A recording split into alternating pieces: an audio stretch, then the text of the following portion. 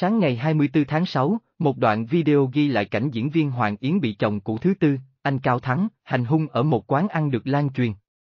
Trong video, nữ diễn viên đang nói chuyện với chồng cũ thì bất ngờ bị anh đánh thẳng vào mặt, ngã bổ ngửa ra sau. Chia sẻ với ngôi sao.net, Hoàng Yến cho biết, sự việc xảy ra hôm 22 tháng 6 tại một quán ăn trên đường Lạc Long Quân của bạn cô. Đang nói chuyện thì chồng cũ bất ngờ hỏi Yến chưa bị đánh bao giờ nhỉ, rồi giáng một cú đấm mạnh thẳng vào mặt, khiến tôi vỡ mũi.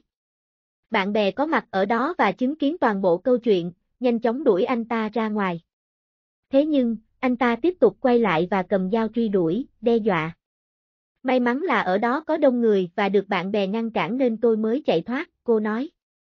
Nữ diễn viên đã trình báo sự việc với công an và đang được bảo vệ. Hoàng Yến sau khi bị đánh hôm 22 tháng 6. Ảnh, nhân vật cung cấp. Sau khi vụ việc xảy ra, chồng cũ thứ tư gọi điện nhiều lần cho Hoàng Yến nhưng cô không nghe máy.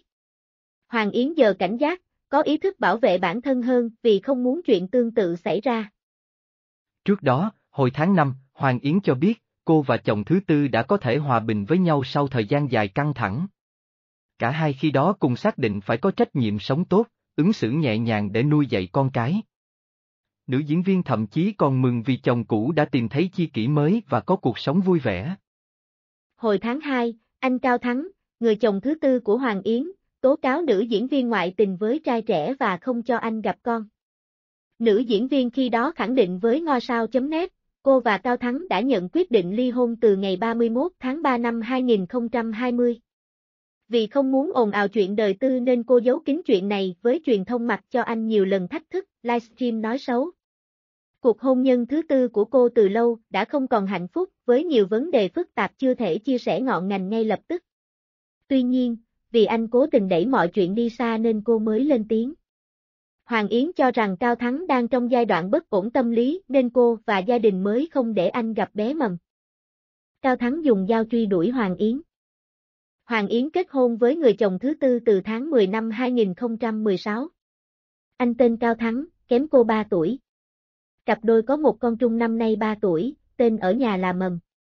Trước khi đến với người đàn ông này, Hoàng Yến đã trải qua 3 lần đổ vỡ hôn nhân và hai người con riêng là Yến My, 27 tuổi, và Yến Minh, 19 tuổi. Trong khi đó, Cao Thắng cũng đã một con trai riêng. Sau đám cưới, cặp đôi cùng nuôi dạy các con trung, con riêng và thường xuyên dành cho nhau những lời có cánh trên mạng xã hội cũng như báo chí. Diễn viên Hoàng Yến sinh năm 1976, được khán giả biết đến qua những vai diễn đanh đá, có chút lẳng lơ trong các phim như Đi qua bóng tối, Chủ tịch tỉnh, Chỉ còn lại tình yêu, Công dân tập thể, Giọt nước rơi, Giấc mơ hạnh phúc, Cho đời. Năm 2019, cô được sự chú ý lớn từ khán giả với vai cô xuyến lẳng lơ trong phim Về nhà đi con.